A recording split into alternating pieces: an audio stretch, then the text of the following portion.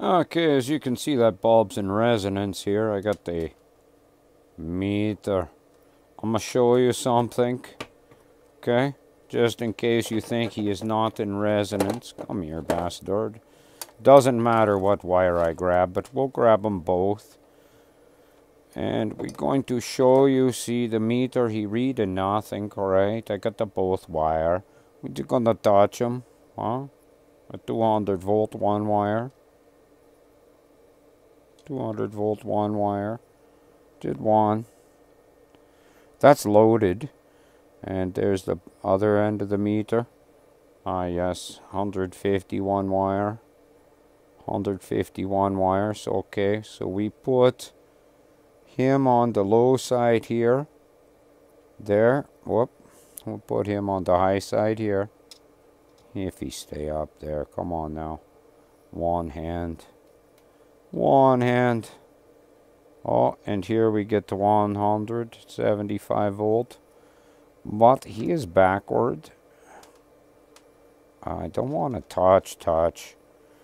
And this is loaded. So when I uh, unload him, he goes open circuit. It doesn't affect the resonance. Oh, lucky, lucky. 600, 700 volt under load. under load. Do two wire, right? Two wire. Crazy shit, huh? Now, stay on there maybe. I take him off. See if we can burn the meter. I don't want to burn the meter, but we take the load off. And now he's like, oh fuck, he's all like a hell and gone. He's so big time. But, and he's only on 100. You can see him there. I tuned that for the best outputs, right? The best outputs. Boom. Boom. Boom, he's in resonance, right? Stable, open circuit, ready for a rectifier. If he runs like this for a long time, not a long time, even five minutes, he gets burning hot. There's so much power there.